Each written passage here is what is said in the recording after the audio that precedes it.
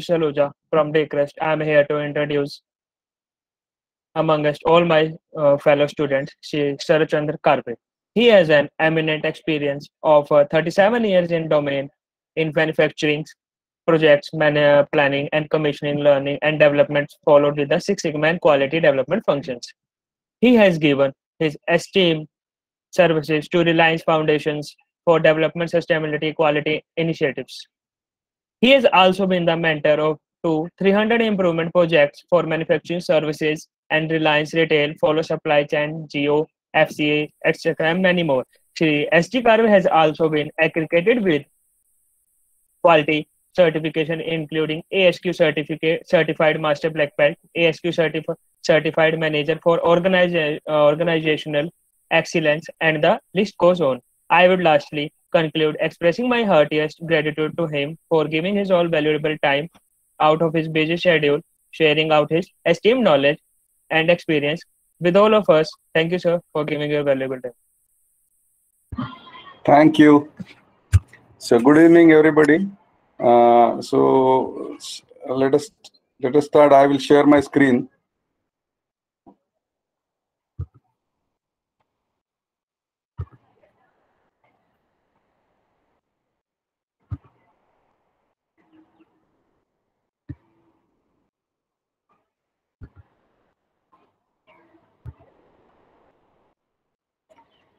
Uh, is it visible Yes, sir. Is it visible? Yes, sir. uh, in a presentation mode? Yes, sir. Okay. So let us start with the session. Uh, I think we are starting our new batch today. Yes, sir. Okay. Uh, so, uh, good evening, all, and welcome you to the Six Sigma course. Uh, basically, this is not a traditional course that you usually attend in your chemical engineering courses. This is a course which is very conceptual, and uh, it is a mixture of a mathematic, uh, sorry, managerial management tools and some statistical tools and lean tools, etc. So you will understand what this actually is when we proceed in our presentations. But uh, it is it is very good initiative that uh, uh, such exposure is being given to you at the early stage when you are at college level, and uh, I'm sure it is not a technical knowledge that will be given in this course, but uh, it gives you few ideas and few concepts about the improvement. And as you all know improvement is a part of everybody's life and it starts from your childhood and till uh, you become a senior citizen. It, it improvement is a part of a life. So this basically a six sigma course uh, which talks about an improvement methodology so improvement or a problem solving. Few people call it as a problem solving methodology but i basically positively call it as an improvement methodology. So we always try to improve the things in our life and processes etc so probably it is about an perfect processes perfect perfect process. So we need an perfection. So we uh, we come across many examples of perfection. So it is about perfecting our process. So uh, so today is the first session we have divided uh, this course into four sessions so basically, I will give you an overview, not an actual methodology, but overview why why Six Sigma methodology. There are different approaches used to identify projects in the industry. This is helpful to you if you become an entrepreneur, uh, you join organization, or it is also applicable for you in your personal life. Uh, and we'll understand also how the methodology works. So you will get an overall awareness about the Six Sigma methodology so that uh, uh, from session 2, 3 and 4 we will actually look at what are the tools used and what are the deliverables of all uh, each and every stage or phase and we'll go into the detail. Today's session is only about an introduction why methodology and how methodology works. So I have also given what is session 1, session 2, session 3 and session 4. So let us start with the session one. Uh, so let us start with the story of hare and tortoise, which we have been listening from years our childhood. So the first part of the story, uh, when the first race was run between hare and tortoise, uh, we all know that hare take a nap and tortoise wins the race. And what is the moral or the moral of the story here was slow and steady wins the race.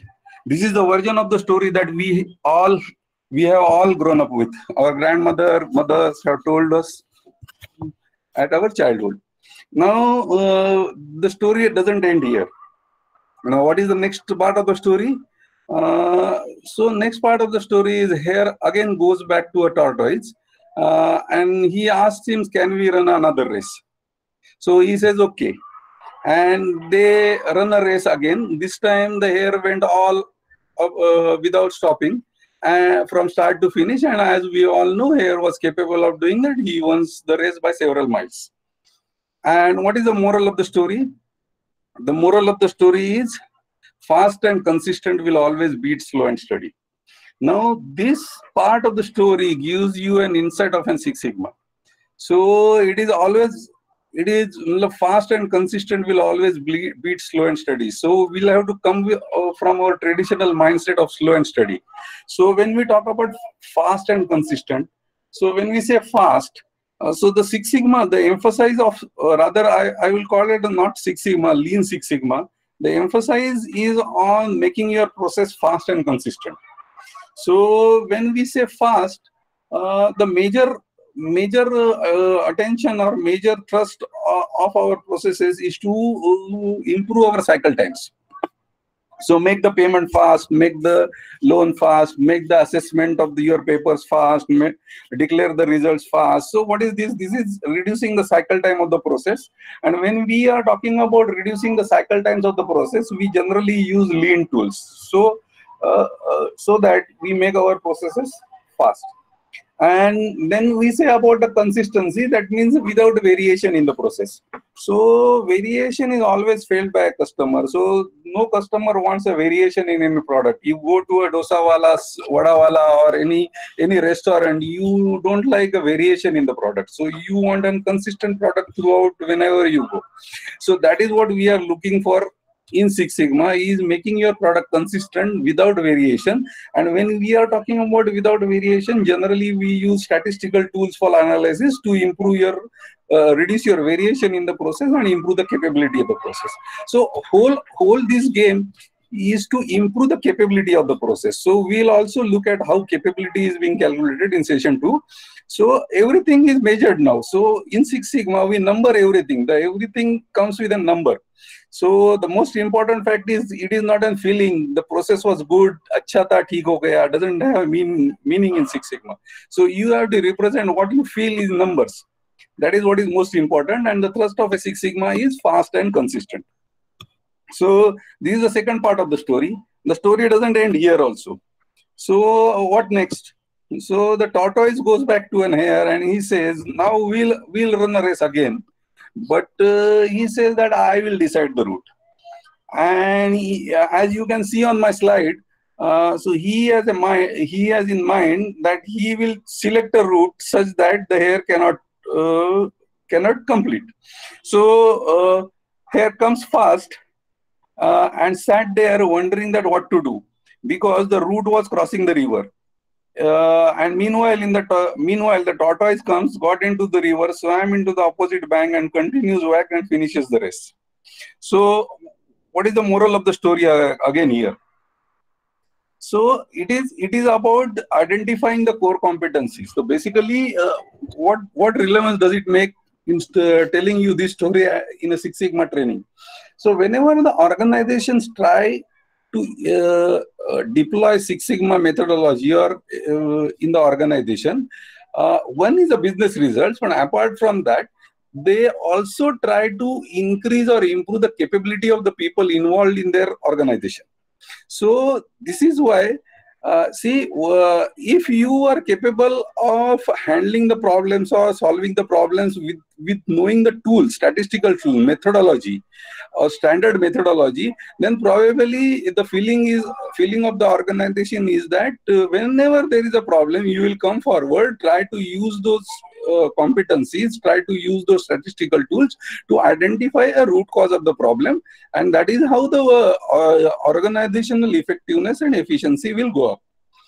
And that is, that is what is expected after deployment of an Six Sigma in an, any organization. So, uh, uh, does the story ends here? No, the story still continues. Uh, now, now by this time, the hare and tortoise are both friends.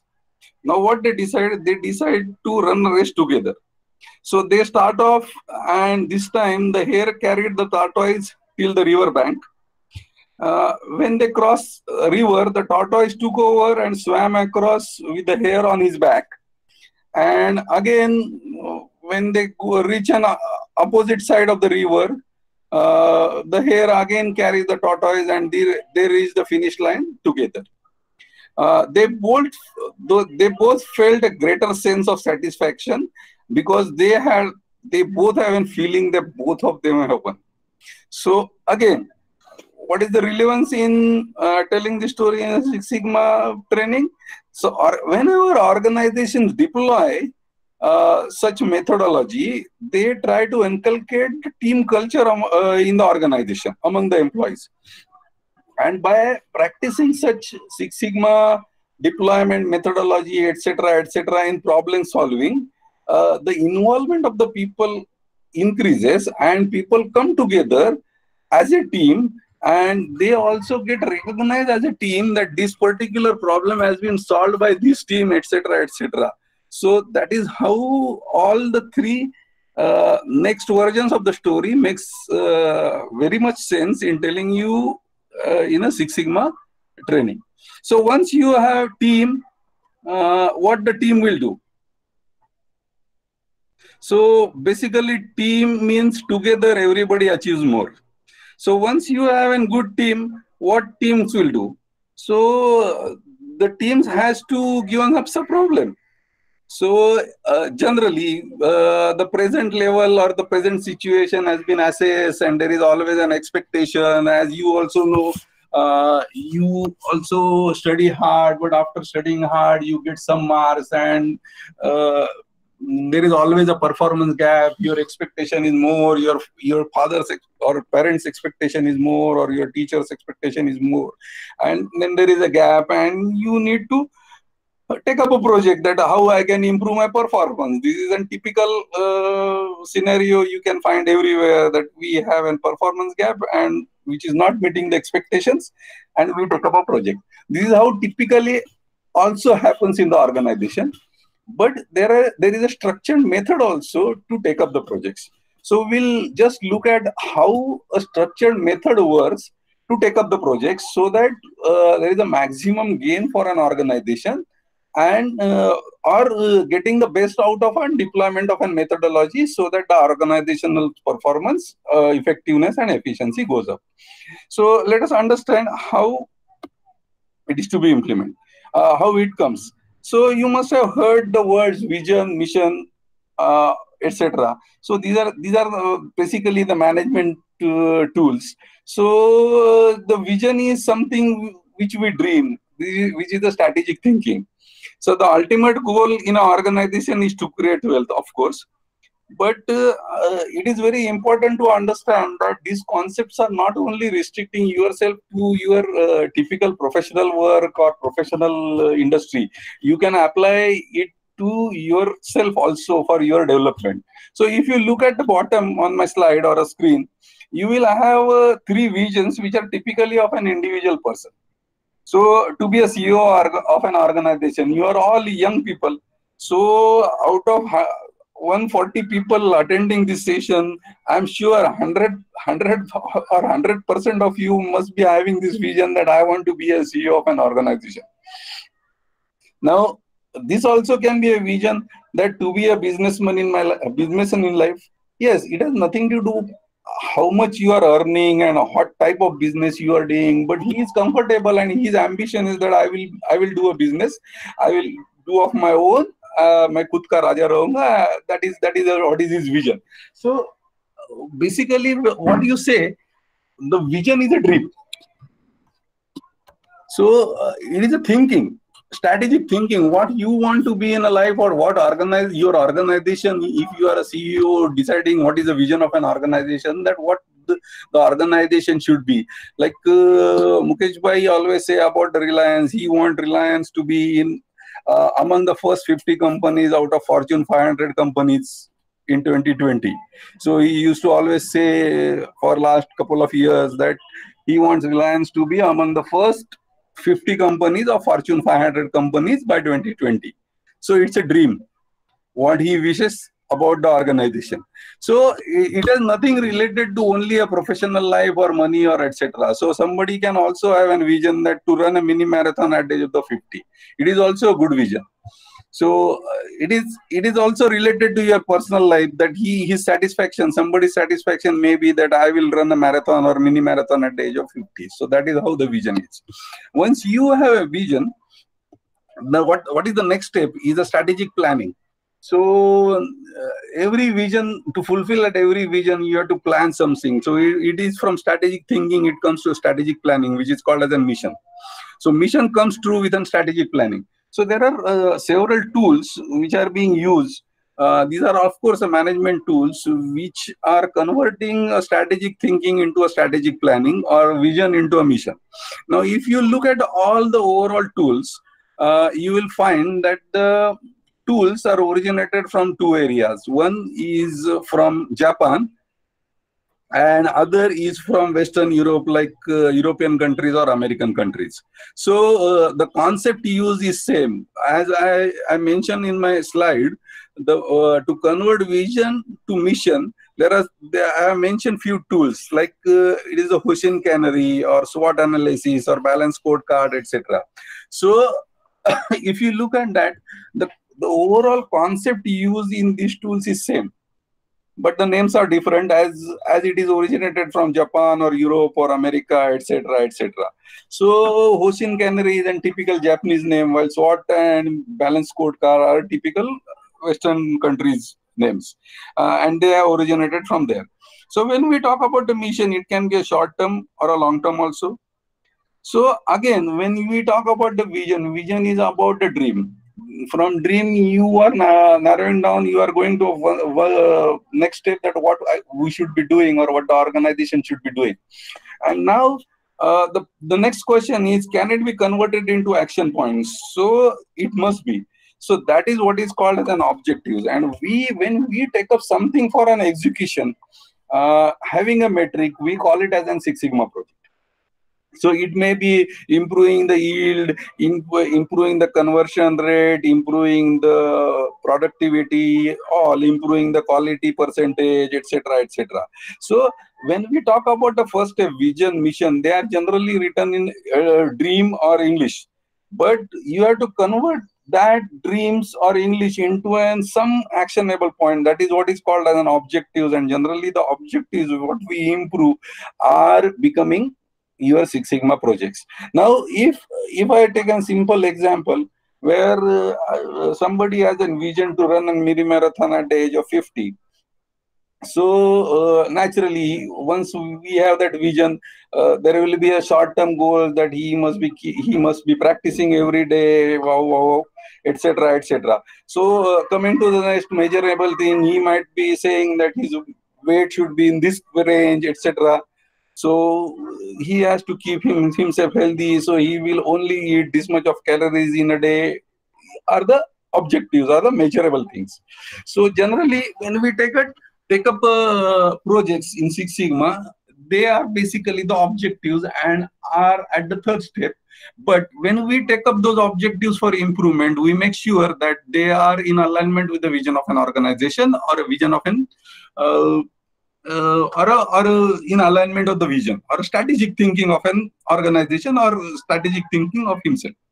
So once we establish that, uh, why it is important to establish that? Because once you establish that, suppose I am taking up some project at Reliance, so that gives me a pride that how I am going to help Mukesh Bhai to be in Fortune 500 companies, like that. And it gives me also engagement that I should be doing this because if I do this, this is going to uh, help my organization or benefit my organization in this, this, this, this manner.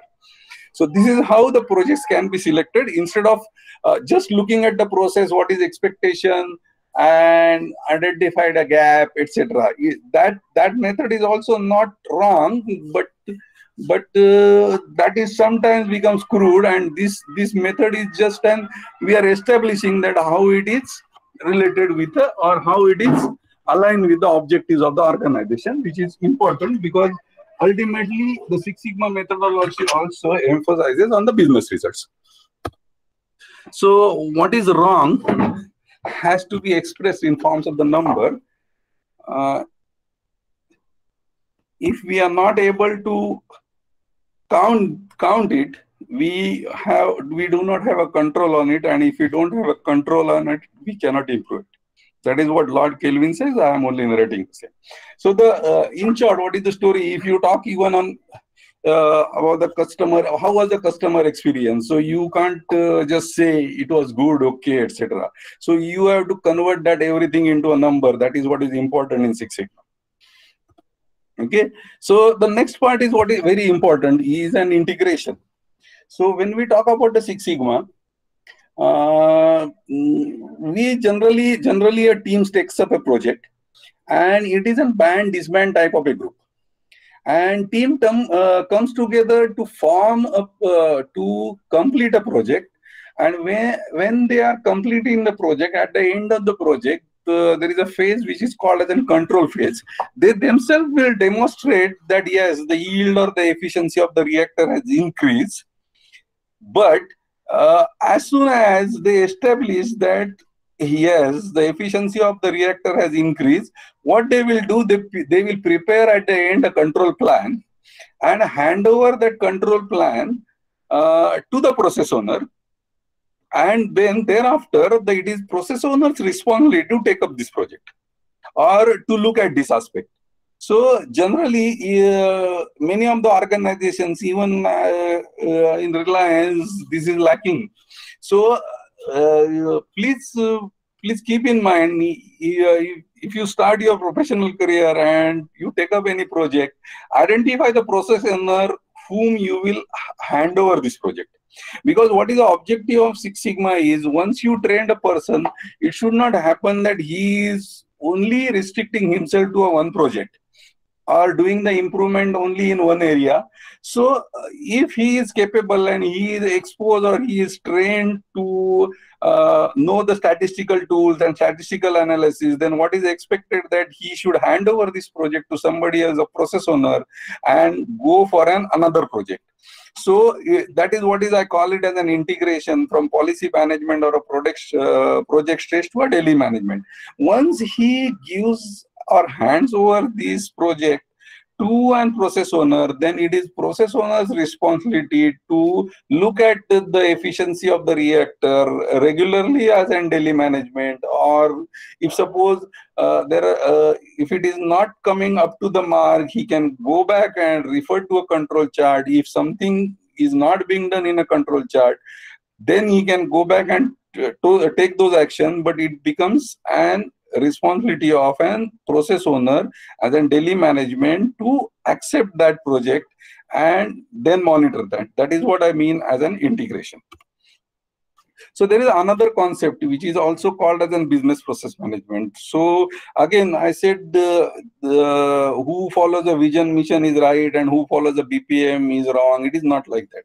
It is the way organization perceive. Again, uh, the if you typically look at the vision, mission, and objective concept, it is originated from Japan, and many of the in, uh, Birla companies in in India follow this concept of a vision, mission, and objectives. While there is another method also which is popularized by G and this methodology is an backbone of Six Sigma concept or fundament uh, Six Sigma fundamental concept uh, and it, it talks about the business process management. So how the business process management works. So uh, as we saw uh, in earlier methodology, there is a vision, mission and objective. Similarly, there are three levels in organization or uh, three levels uh, or three level uh, the kpis at three levels so somebody while mid who is at higher level in the hierarchy will be looking at the business level uh, KPIs. KPI means uh, key performance indicator. So he, if he's sitting at the top in the business, then he will only see at what is the profitability, what is my sales percentage, what is etc. etc. etc. So if he finds that something is not performing some KPI, key performance indicator is not performing to his expectation, he will find out something in operation. So uh, he'll come to next issue where is an operational issue. And uh, again, uh, we look at an KPIs at the operation level and find out that something which is not uh, being uh, happening as per the expectation in a process level. So as we did vision, mission, objectives, here business level KPI, operational KPI and process level KPI. So we take up a project uh, at process level or operation level to improve the performance. It may be a product cost, quality, then inventory, throughput, availability of the machines, anything which is at operation level or you can go down to a process level where individual machines efficiency, yield can be. But again, what we are trying to make sure here that uh, whatever project we select at the operation level or a process level has triggered off or drilled down from the top business level objective or it has an alignment with a business level objective so uh, that gives an individual uh, project leader a confidence that if I improve this, this is going to help my organization like this, this, this, or in earlier case, this is going to help your vision like this, this, this, this, etc. So this is how the business process management works. Now, uh, uh, typically many of the organization also follow this type of a concept so again this is an western concept while this has originated from US, but otherwise uh, there are many organizations those also follow vision mission. Again, nobody is wrong and nobody is right. It is the way organization pursued and have an habit of doing the things. So why basically it is being done? So uh, it is being done. You have not that exposure about the industry, so you will you will not you may not be able to understand it but uh, in an organization, there are typically people who are from operation side, maintenance side, or uh, support system side. They typically look at the job, it is not my job. So if you look at the picture in our screen, uh, you can typically understand the, the, the picture is an official winner of a not my job contest. So so in an organization there are typically the things are happening like that. So uh, to bring everybody together generally uh, cross functional teams are formed to improve the objectives or uh, the process level efficiency etc and this is all required as uh, the organization wants to involve everybody all the aspects or all the parts of the organization so that they come together and solve the problem on end-to-end basis. So it, it should not happen that uh, operation man has uh, resolved the issue in from his angle and he has done something bad by which the maintenance cost will increase. So typically you are from an operation side uh, so if you want to increase the efficiency of a reactor, it may happen that you will have some parameters at such level where uh, actually uh, the mechanical conditions uh, will not be able to find, will not be stable.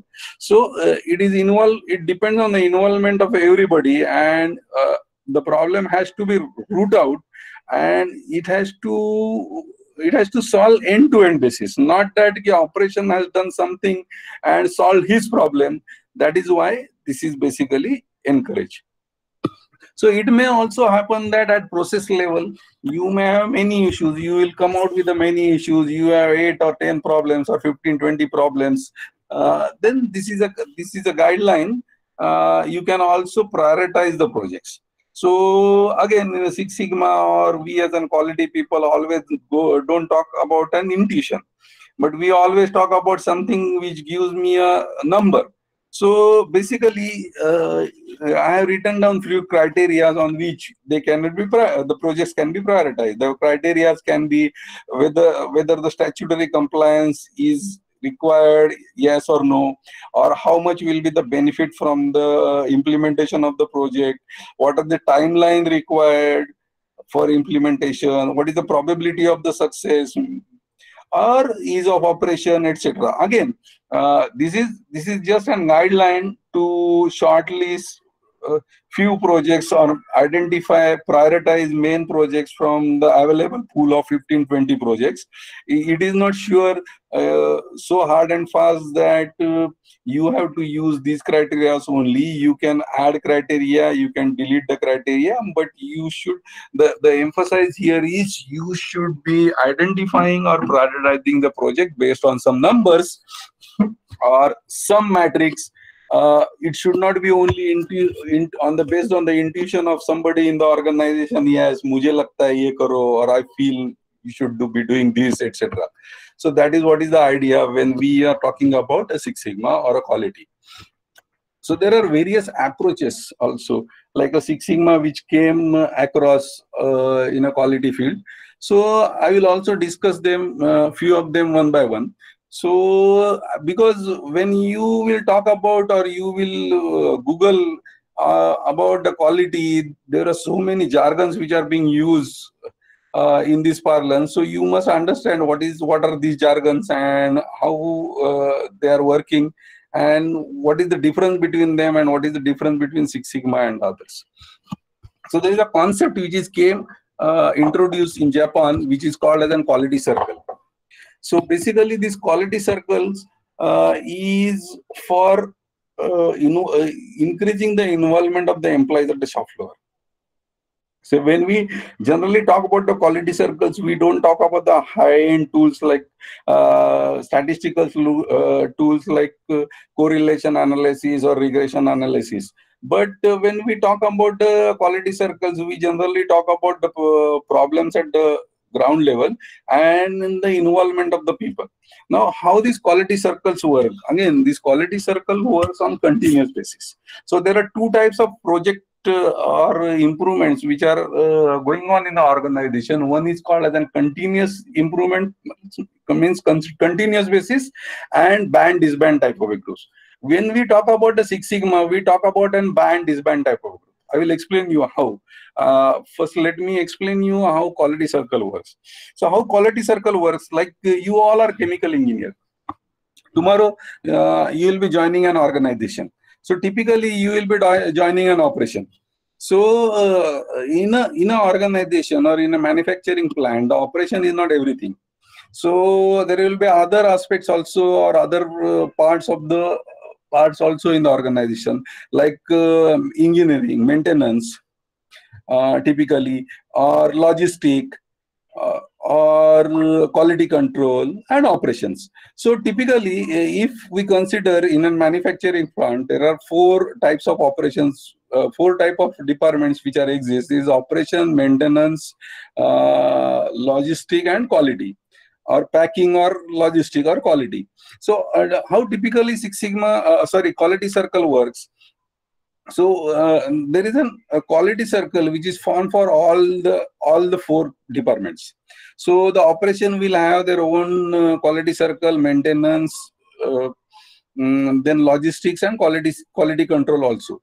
And typically what they will do, they will identify all the problems in their area so each of them works independently and they typically will form all the problems in their area. It may be a laundry list of 20, 25, etc. Then again, they prioritize that. And based on prioritization, they will take up first, second, third, fourth, probably four or five projects or four or five problem solving in a year. Now, uh, again, after an year or a periodic uh, certain period, uh, one year, they will again revisit what are the problems in the department, again prioritize, again take up first, second, third, fourth. This process goes on. This is what is called as an continuous team effort towards the improvement. Now, if you look at an uh, example of an Japan, uh, you will not believe uh, Toyota manufacturing industry, there are 3,000 such circles are active. Now, typically, if you look look at 3,000 circles, uh, typically solving four or five problems in a year. So 3,000 into five, how many problems they have resolved and are uh, put in a positive way, how many processes they were they have improved. So if such a number of processes are improved, will the organization's effectiveness or efficiency will go up or not? So that is how it is it is being achieved. Now, if we took, uh, uh, talk about an Six Sigma project, now typically uh, it is not, it will not happen that uh, everywhere the problems will be solved only by an operation people.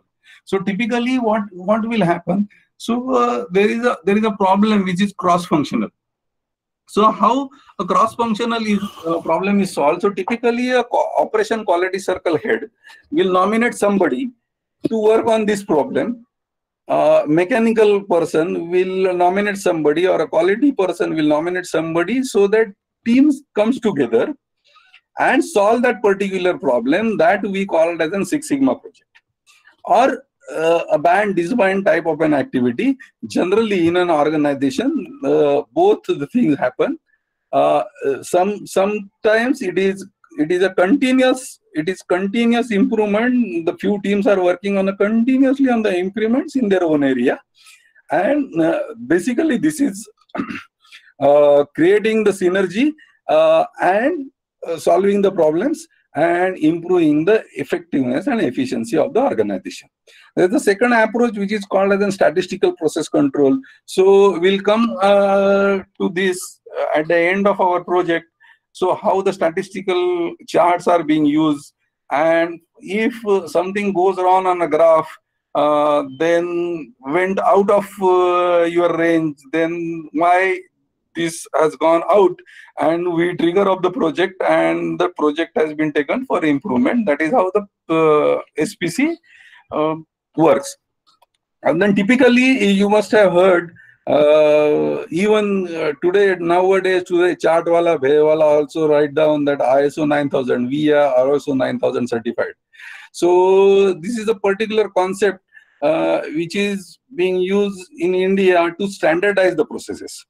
So uh, means if we are following ISO 9000, we are documenting uh, everything, how uh, things are done or how things are operated in our industry. And uh, there's a typical audit which is done by ISO 9000 auditor and he verifies that what is documented is actually being done at the shop floor and use your certification. Uh, again this is this is at uh, uh, basic level basic or a standard level. Uh, if uh, the concept here is if we uh, if the organization has written down their uh, their processes and procedures and everybody is following that procedure the quality the organization will definitely produce the products within quality. That is what is being achieved using iso 9000 then there is a concept which is uh, which came in as a re-engineering. So all processes uh, are need to be relooked at and after a certain period of time.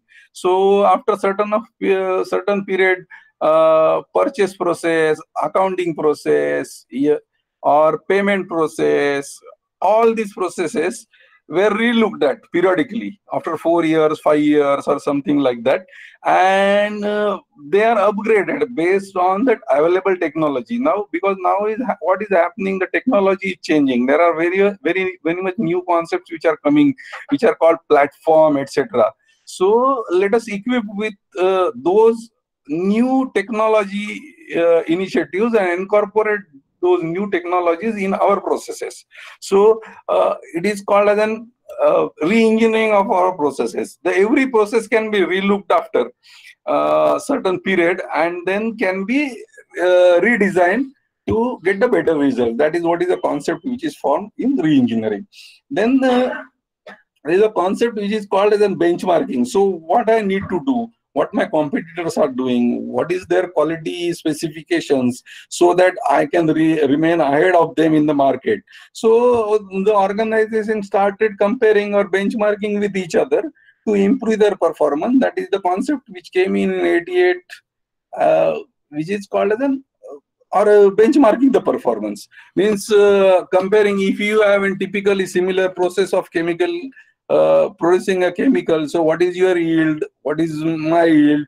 What is your conversion cost? My what is my conversion cost etc etc and if suppose somebody is lacking behind then he will try to find out and make that gap.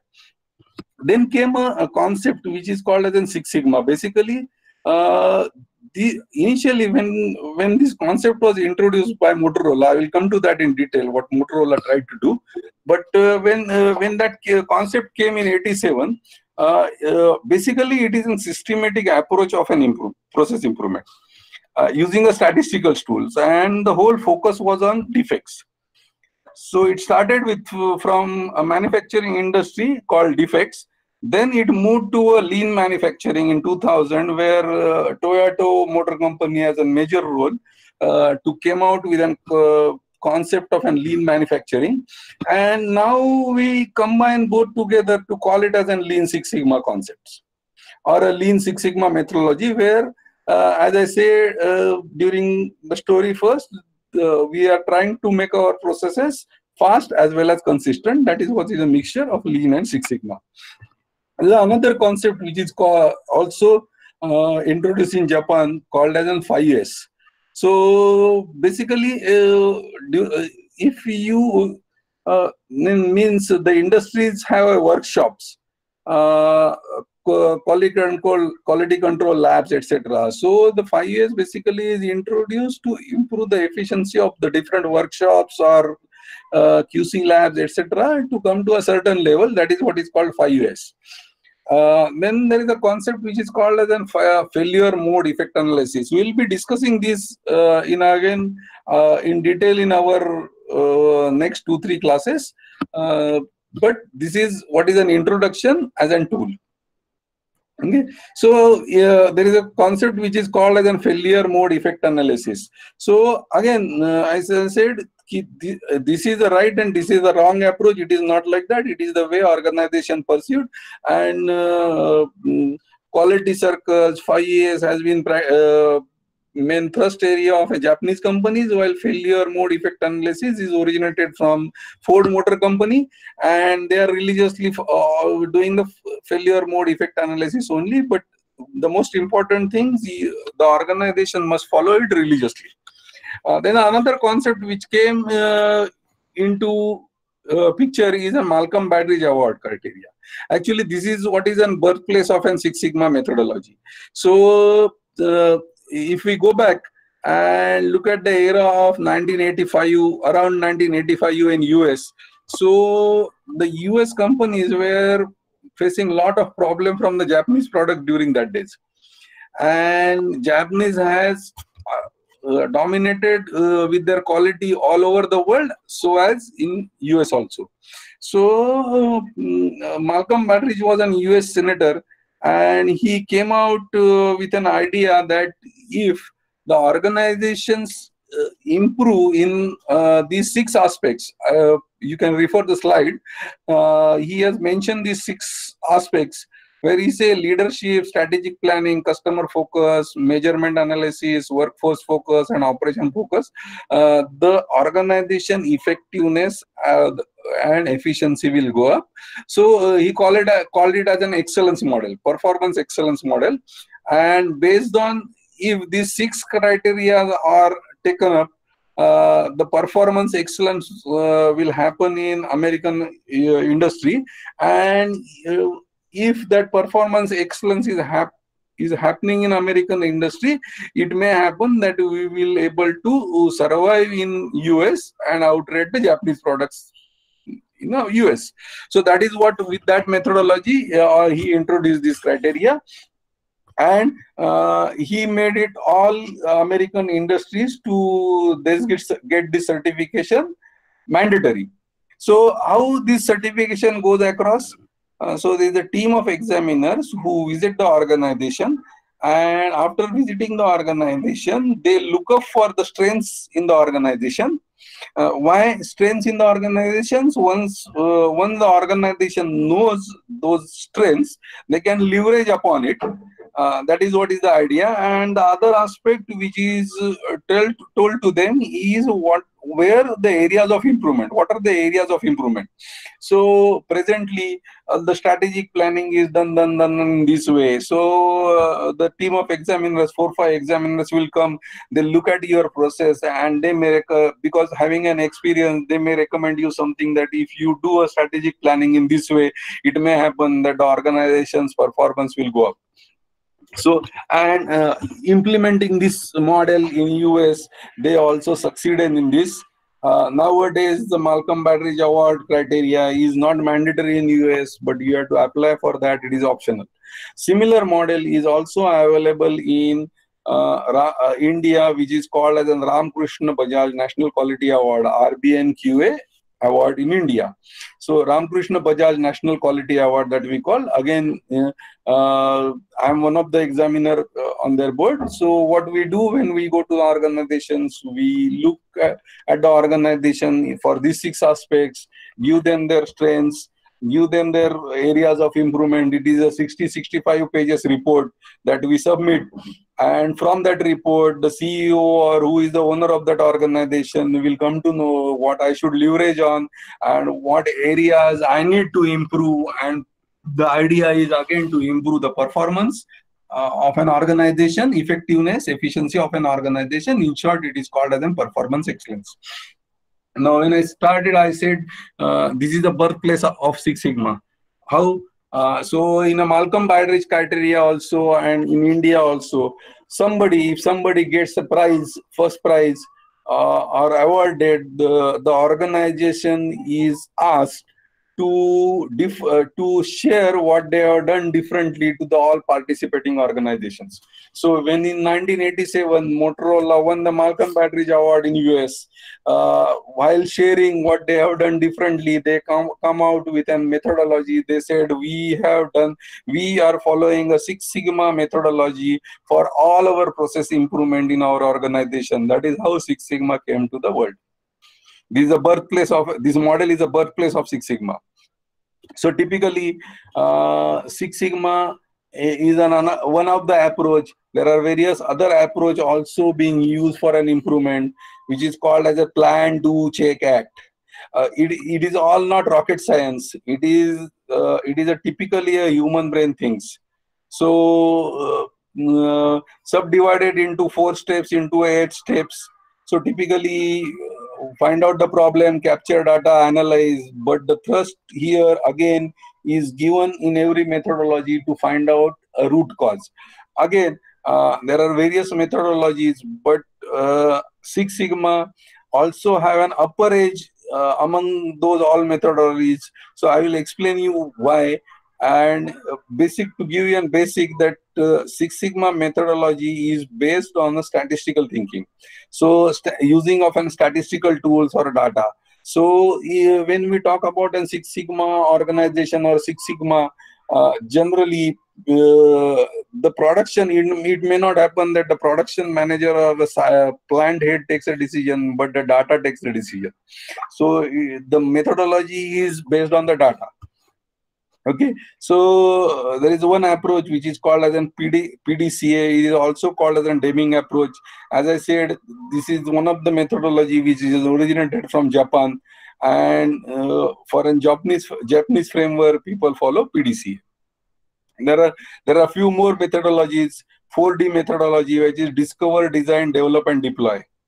So 8d methodologies uh, again going forward from 4 to 8 so typically problem solving approach, there are eight steps. Again, uh, this is right, this is wrong, or we are following Six Sigma means something uh, extraordinary. It is not like that. It is the way organization per pursued. Definitely, uh, Six Sigma is more organized methodology, uh, more structured methodology, based more based on the statistical uh, tools. That is why uh, there is a probability that the improvement sustains because in an organization it is very challenging that improvement should sustain because it should not come for a few days uh, so it should not happen like on the first January we decide something and we do an exercise only up to 15 January and then we forget about it. So the sustenance is a main part uh, which is must in an organization. And if we solve the problem uh, in a Six Sigma way, we generally find out a root cause. We change a system or a method of work. And if we change a system or method of work, generally the improvement sustains. That is how we have to do it. So it is typically uh, define, measure, analyze, improve, and control. We'll go through all these steps when we proceed in our presentation. So it is not uh, rocket science. It is a simple way uh, any individual or any common human brain thinks. So define a problem, measure the current performance, analyze the situation to establish the root cause. There are few lines which are very important. The root cause is very important. So uh, if you are doing something to improve, are you doing a corrective action or a preventive action? So corrective action is just to set right the things, but preventing action is to uh, to prevent the reoccurrence of the event. That is what is emphasized in the control phase. Control through preventive of reoccurrence. Improve by implementing countermeasures. So let us understand how Six Sigma methodology in overall works. So it is not like that in the industry, people don't solve the problems or we don't solve the problems. You are new to the organization, but generally you uh, come across the world, ye problem aise solve kiya, ye aise kiya, etc., etc.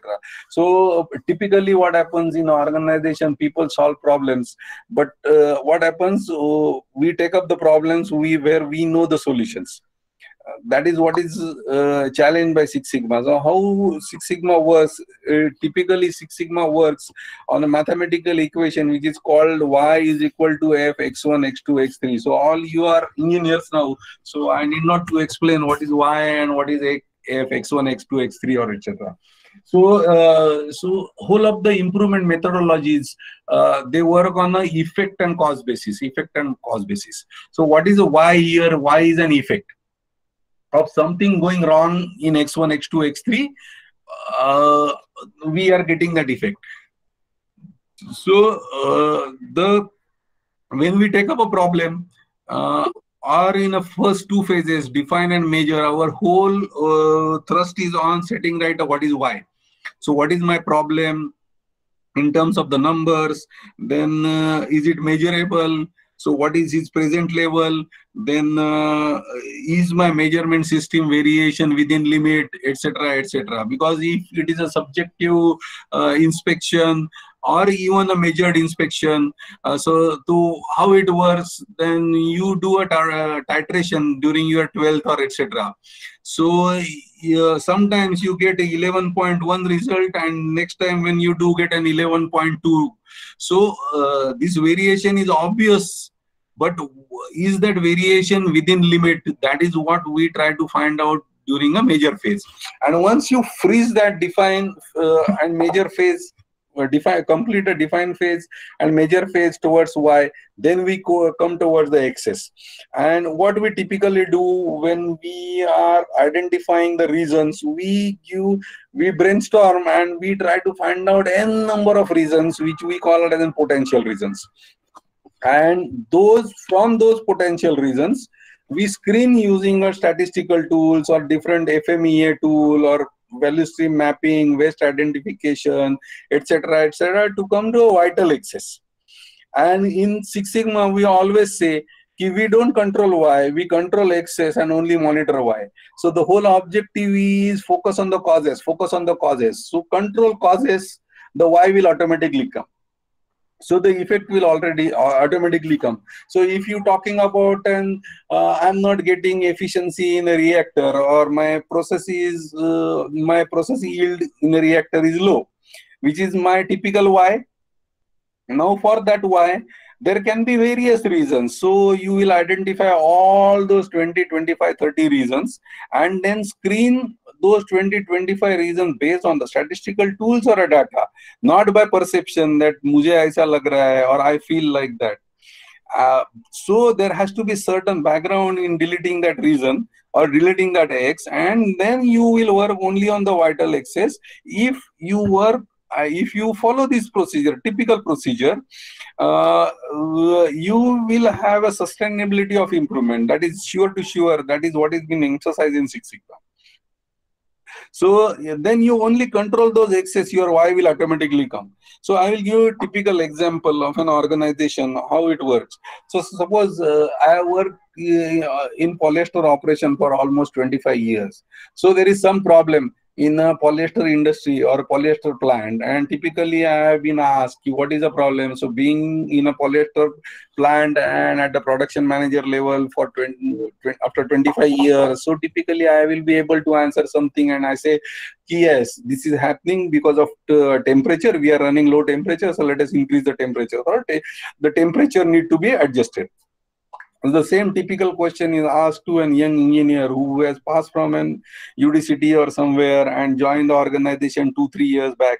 So this is a polyester plant in problem in polyester plant. What should be done? So he probably will say, with his uh, technical knowledge or something like that, he will say, keep pressure.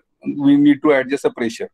Now, generally, in a typical problem solving, what happens? I am a production manager, so I say temperature is adjusted and after adjusting temperature I proudly से देख मैं बोल रहा था ना temperature adjust करने के बाद हो जाएगा and get I get an improvement to the tune of a 30%.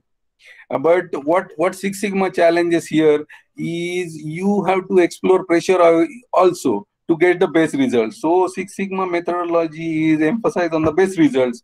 What typically happens in the organization, we uh, we implement temperature and we get an improvement of an 30% and we are happy.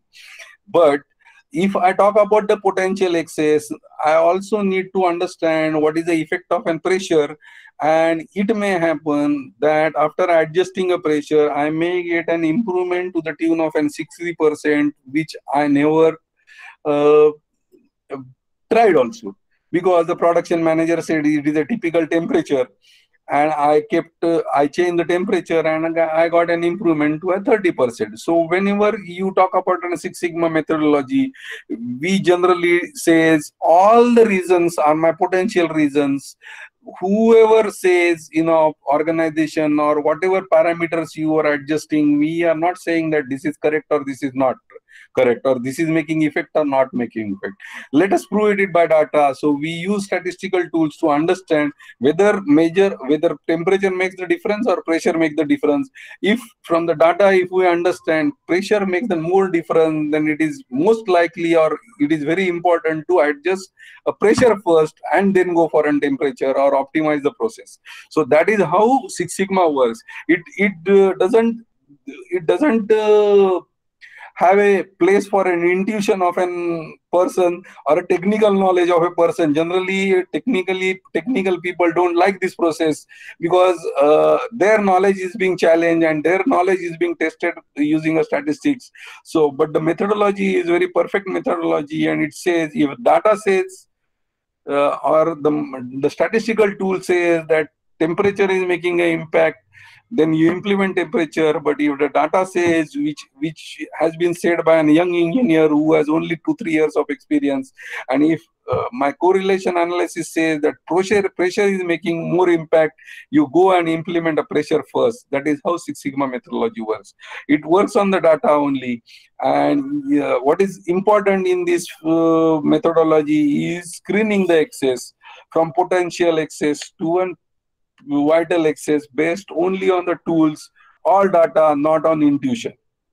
So if you look at the other methodologies, primarily plan, do, check, act, you start from a plan, so you know what is to be done. But in Six Sigma, what is the advantage Six Sigma methodology has that we try to solve the problems in unknown area, what is happening inside the reactor or what what parameters are making difference inside the reactor that we try to find out. That is what is how this methodology is framed So uh, this is how a typical roadmap of an uh, Six Sigma methodology. And I always say it is very structured methodology. You answer 15 questions, your project will get completed. So that is how we will also go in our training presentation. So I will be uh, I'll be taking you through, through the 15 questions. So, so if you answer those 15 questions, your project will get completed. Okay. So why Six Sigma basically works? Uh, it is basically bottom line of the results. So if we look at the, the world uh, successful companies like GE, they earn three billion dollars uh, through Six Sigma in in one year, just 2000. So uh, as I have been emphasized, it should be linked to your project has to be linked to a business objective. If that is done correctly, again, mm, the bottom line will improve, the profitability will improve, and that is what the organization leaders want. So basically, uh, we take up a project or the thrust of taking up the project using a standard methodology like vision, mission, or BPM is because we should it should help organization it should give profitability to the organization, etc. So this is a fundamental uh, principle on which the Six Sigma methodology works. Uh, then the second is the point which is most emphasized is focus on customer requirement. So when we talk about a customer, we always talk about the the product uh, or the end product which is being purchased, uh, purchased by a third party. So here the concept is not that here the, we talk about external customer as well as internal customer and the next process is called as a customer that is very important or in, very important inside of an Six Sigma. For an every process there is a customer. So if I uh, give you an, I have to give an example. The stomach is my stomach is a customer of my mouth is a typical example of internal processes. That is how six sigma works. It is based on the sound statistical knowledge uh, sound statistical approach and disciplined approach. As i explained you when i was explaining the funnel uh, it is basically based on the statistical tools that that is how you screen from potential x's to a vital x's it is a data driven culture. The data will take the decision. It is not that uh, on the feeling of an head of the department it will be taken. He may be technically thorough no no issue in that but uh, that that uh, technical knowledge has to reflect in the data. If the statistical tool says there is a correlation then we have to accept that as a correlation. Yes there is a correlation between two parameters. We'll look at the, what is correlation in detail when we proceed in our presentation uh, probably on the third session. It clearly defines the measure of success. Means uh, when you take up a project, your pro, your process at uh, your pro reactor efficiency is 85. Uh, it has improved to 88 and which is statistically different that we verify that the, the, the two processes before and after are statistically different. And if they are different we clearly call it as a success or if it is not different then we don't say that the project is completed. That is how it works. It, it is again based on the data and statistical tool uh, which is called as a hypothesis testing. And we confirm that uh, using hypothesis testing that the before and after processes are different and then we conclude that yes project is completed or not completed. This encourages team culture. I have been talking on this from my uh, from the story also. Uh, then it is also uh, improves the employment engagement. So if i take up a project i know i know that uh, how this uh, how uh, implementation of this project is going to help Mukesh Ambani to uh, drive his vision. I will get encouraged i will get more en engaged with the organization to complete this project. That is how the employee engagement can also be drawn. And uh, the particular employee who completes the projects gets an opportunity to present his work in outside world. He also gets that my project i am representing uh, my company for my work outside. And then uh, it is very important uh, last point but very important infrastructure of a trained individual. So if uh, once you have been trained on the uh, trained on the statistical tools, uh, you will always uh, use the statistical tool in your future career to analyze the issue, to solve the problem, or to find out the correlation. So if you are trained as a black belt or a green belt, once a black belt, always a green belt, always a black belt, you always think in uh, the problem solving in the structured manner and if you always do it in a structured manner there is high like high likely that your participation in the organization problem for problem solving goes up so uh, we typically say every problem has two solutions bhaglo or bhaglo so if there is a problem if there is an accident on the road what typically we do we either run away or participate so if we don't know anything about that, we run away. But when we are exposing so many people for statistical tools and methodology, it is expected that the employees in the organization will come forward, take up the problems, participate, and that is how the effectiveness and efficiency of the organization will go up. So uh, basically, uh, mm, the Michael Harry, who um, who is called the architect of an Six Sigma uh, at Motorola. Uh, and he says that eliminate causes of mistake or defects. So his thrust was on x's. So control x's, why will automatically come? That is what is a nutshell story of our Six Sigma. So for a perfect process, there are various, it, it has to be valuable, capable, available, adequate, and flexible. So when we talk about the Six Sigma, we are talking about the capability to improve or reduce variation and make it valuable means waste free. So we'll be talking about the lean tools and statistical tools to make your process valuable and capable. There are other aspects also which is called available with maintenance, adequate with theory of constraint and flexibility uh, with uh, single minute exchange of die. That means uh, uh, we must be able to change our projects products very fast. Means uh, if we are an automotive industry there are so many models which are being produced. So it must be happening for suzuki that they must be switching over from Wagon R to alto very fast. That is what is the meaning of SMED so when organization is called as a typical Six Sigma organization, uh, when the bottom line uh, or the profits uh, typically 5 to 10 percent of the profits are coming from in six sigma projects. So uh, what i want to emphasize here is 95 percent technical. So whatever class you have been attending for other are typically for 95 percent but what what six sigma makes the difference that is having edge over the other that is a 5 percent. So typically a 5 percent of the profit should be coming from uh, Six Sigma projects. That is what is a typical requirement uh, to be called as a Six Sigma organization. If any company who is declaring that my 100% of the profits are coming through Six Sigma, they are doing something wrong in a Six Sigma.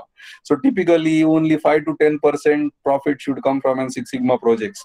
So 95% is technical. Even if you tomorrow take up the project, the potential projects, potential causes will come from a technical people.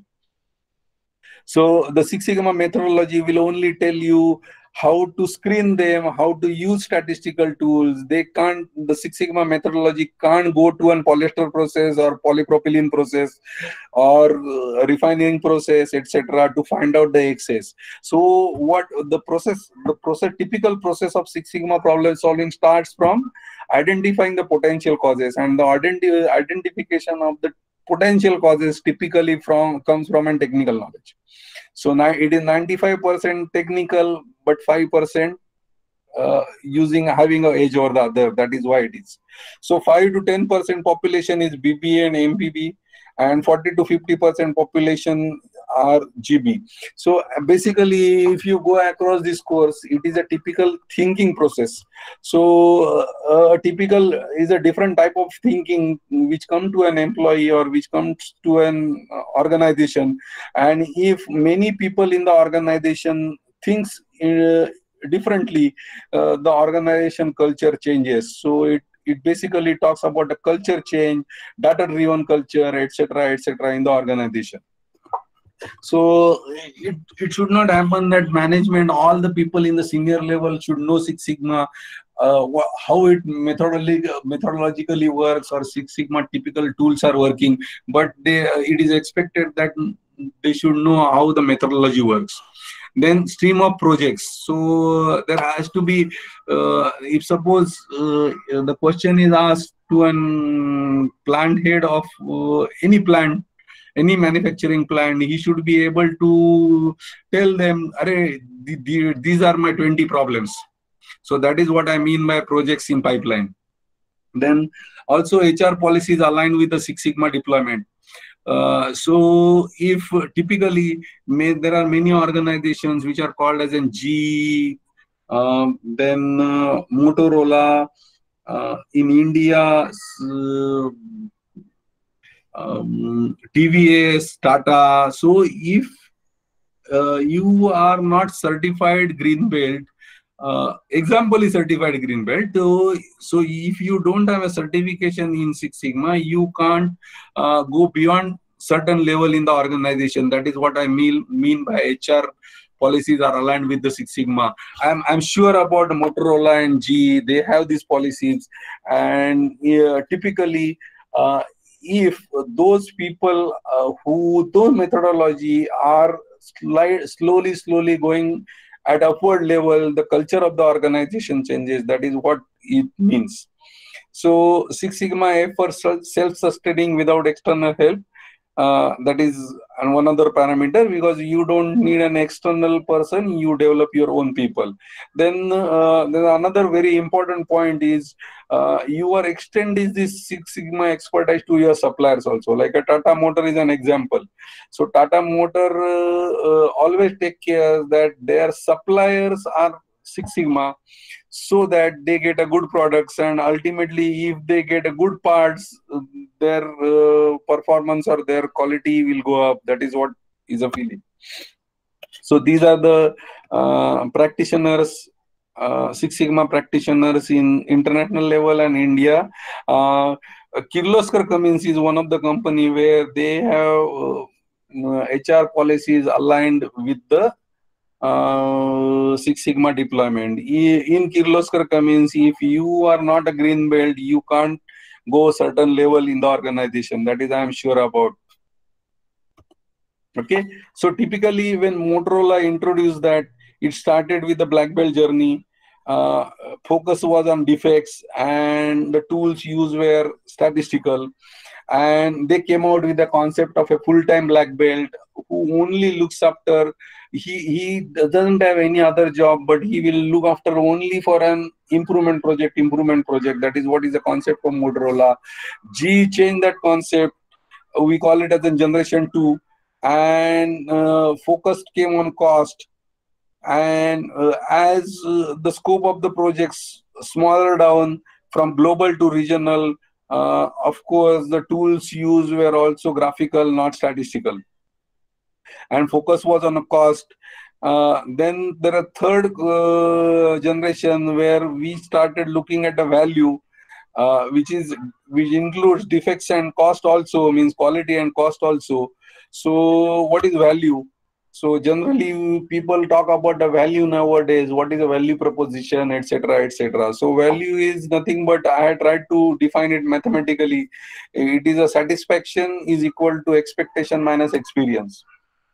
So uh, it is a trade-off between quality and cost. So example, when you go uh, for a uh, go for a dinner in a hotel, uh, after the dinner you get a bill for an 2200 the first question you ask yourself it is worth it. So the, now the importance is worth it. So it is it is not related to quality because uh, suppose i i many times hello? Hello? I many times drink tea at tapri and pay him only 10 rupees. So how do you like it? I like it because i always compare what i pay and what i get. Uh, now same tea uh, what i get at tapri i start i go to taj and get that tea that will not be a value proposition for me because I pay more there. So my expectations are different. And when I go to Tapri, my expectations are different and how much I pay. I, I always try to calculate that what was that experience worth it. So value is nothing but an worth it experience. So in a Japanese philosophy, uh, if somebody comes to an organization uh, he he does only two jobs either add value to the organization or produces waste so what types of waste uh, can be produced or what type of person typically uh, um, are observed in the organization? We'll look at that when we will look at the uh, detail analyze phase. Uh, but but it is very important to understand how a value addition can be done. So value addition can be done in three ways. One is in physical transformation. So uh, typically you are now engineers, but when you join any organization, there will be people who will be lifting, shifting the material, who will be uh, unloading the trucks, who will loading the trucks of the product. So uh, are they not adding value? They are adding value by their own ways that we call it as a physical transformation of the product. Then uh, there is a type of a value addition which is done by an engineers or senior people or uh, HOD of the plant or some people. There's a problem solving and process improvement. So the the management uh, people or supervisors people thrust is on problem solving and process improvement because everything doesn't uh, happen smooth in life. So there will be always problems coming in the organization, in a manufacturing plant. How you react to those problems, how effectively you solve the problems is your value addition. Then there is a third type of value addition which is called as a documentation or information. So there are many uh, paperwork which is done for, for a government is called as a documentation or information value. Or to take it simple, uh, how many days you are you are present in the organization or you are present in the duty. Based on that, you will be paid at the end of the month is also very important value addition job. Otherwise if you don't get to pay at the end of the month probably you will not work next month. So that is how the value can be added by an every individual in three three these natures. So this is one of the typical example of an value addition. We always see uh, a clock on a signal and uh, the the 125 you indicated in this clause me, me, gives me many opportunities. I can drink water i can change cd i can ask my child to drink water i can take a phone call or call somebody. What is important? Now what is important to understand that uh, because of this clock it is not happening that my signal changeover from red to green is happening early but still it adds value. So value is something this is an information value which improves your process. So what i want to say there are certain information coming to the process which actually do not talk uh, do not take uh, part in the process or increases the speed of the process but still they are important as an information to the process and adds value to the process. That is what is the meaning of value. So i think uh, this is for day today. Uh, any questions on this so far? So far, so good or uh, confused? Yes? Any questions? Uh, I'll be uh, I'll be I'll be presentation PDF. Yes. Hello. Am I audible, sir? Yeah anybody uh, guy students every, anybody have any questions? So you can ask first sir. Uh, you can ask right now. You can write to me or you can go through the presentation and uh, ask me next time. No anybody have any questions sir ask anybody have any questions sir next time. So for next time Okay, no issue. No issue. I will, I will after that analyzing after that ask questions. So if any doubt.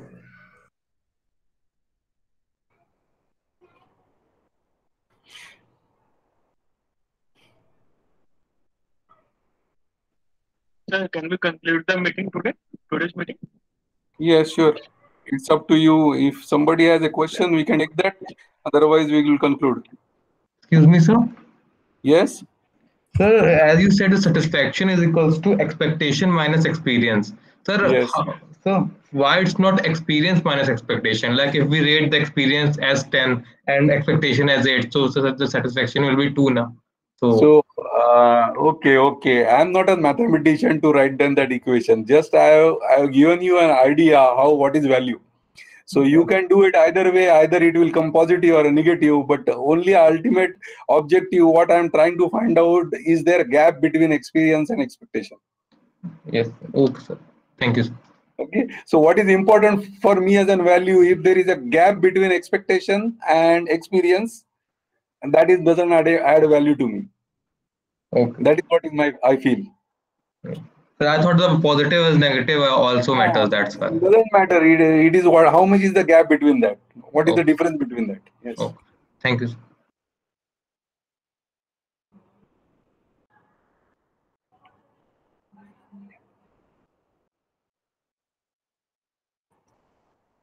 Anybody have any doubts more? No. No, sir.